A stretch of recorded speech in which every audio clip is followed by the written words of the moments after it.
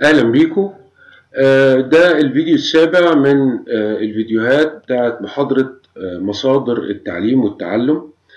في الفيديوهات اللي فاتت قدمنا بسرعة إيه المصادر المختلفة وبعدين ابتدينا نتكلم عن الكتب والمقالات والفيديوهات والبرزنتيشنز غطينا شوية حاجات وبعدين وقفنا عند النقطة المهمة جدا في حياتنا اللي بنجيب منها مصادر المعرفة.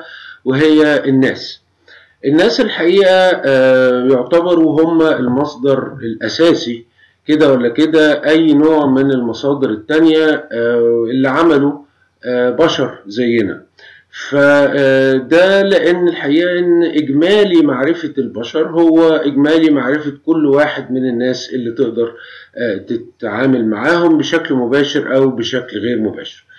آه، مع ذلك طبعا فأنا ما أقدرش أتكلم مع كل الناس وده اللي بيخليني بلجأ للكتب بلجأ للمقالات بحيث إن أنا أقدر آخد معلومات من ناس ما قابلتهاش بشكل آه، مباشر.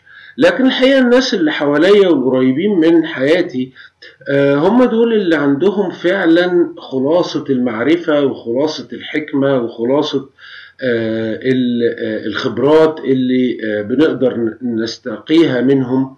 عن طريق التعامل المباشر.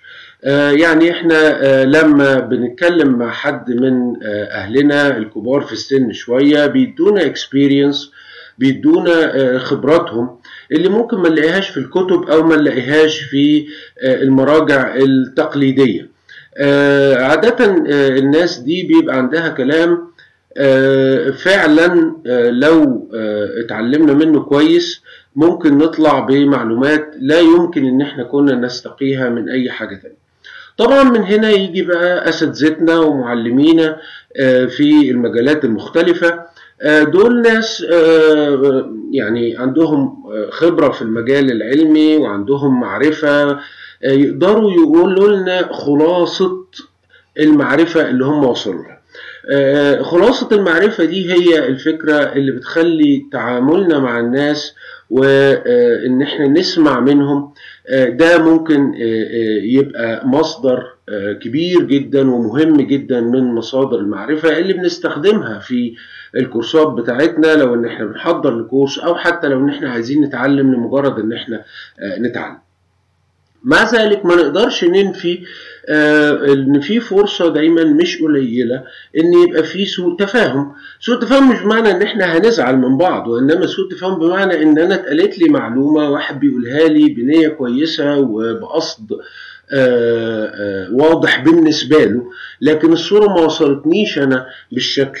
المطلوب. آه، لأن عادة الانتراكشنز ما بين الناس بتبقى محدودة آه، بالوقت والمكان وفرصة إن إحنا نتقابل أو ما نتقابلش. آه، فلما بنطلع بمعلومة آه، بيبقى في فرصة مش قليلة إن إحنا آه، نسيء فهمها.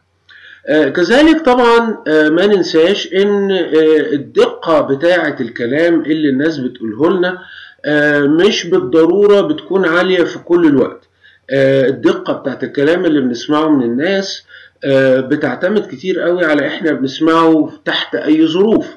لما ببقى قاعد مع واحد وبطلب منه نصيحة بيبقى حريص جدا في الكلام اللي بيقوله لي. آه، وبينصحني باللي هو يعرفه وبأحسن حاجة يقدر يطلع بيها. لكن لو أنا بدردش مع واحد كده في قعدة عائلية أو قاعدين آه، في النادي أو على قهوة أو أو أو بالتأكيد الدقة مش بالضرورة بتكون بنفس دقة لو إن أنا بطلب نصيحة أو بطلب معرفة آه، محددة. فبرضه هنا لازم ناخد بالنا من آه، دقة الكلام آه، اللي بنسمعه من الناس اللي حوالينا والظروف اللي بنسمعها فيها علشان نقدر نحكم الكلام ده فعلا يقدر ناخده ونعلمه لغيرنا ولا يكفي إن إحنا سمعناه ممكن نستفيد منه أو ما نستفيدش منه. والحقيقة طبعا نقطة الضعف الرئيسية في الكلام بتاع الناس هي طيب انت جبت الكلام ده منين؟ آه، أغلب الناس بيكلموك بحسن نية بيتكلموا آه، يعني مش عايز أقول كل الناس كمان الحقيقة بيتكلموا معاك بحسن نية بيحاولوا يقولوا لك فعلا نصيحة لوجه الله بيحاولوا يقولوا لك إيه اللي هم يعرفوه اللي هم اتعلموه آه، على مدار حياتهم ومن خلال خبراتهم المختلفة لكن ليس بالضرورة يقدروا يقولوا لك والله إحنا اتعلمنا الكلام ده من المكان الفلاني أو من بالأسباب الفلانية وتحت الظروف الفلانية. اللي هي بتمثل بالنسبة لنا ال referencing وال documentation اللي ضروري في البحث العلمي. طبعا هنا يبقى الفلتر